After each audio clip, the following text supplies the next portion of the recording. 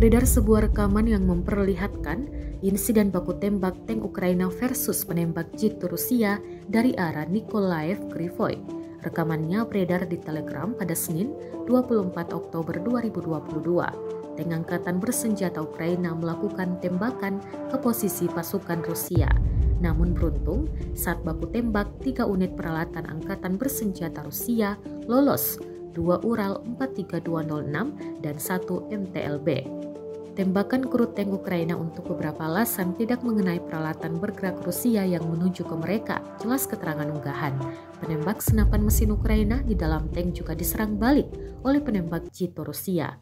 Senapan penembak mesin Ukraina rusak begitu terkena tembakan tentara Rusia yang memaksanya untuk mengganti. Tembakan kedua memaksanya untuk masuk ke dalam tank.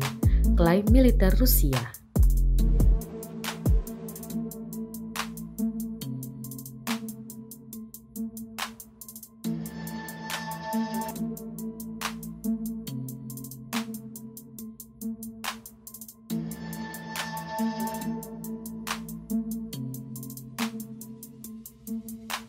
Terima kasih sudah nonton.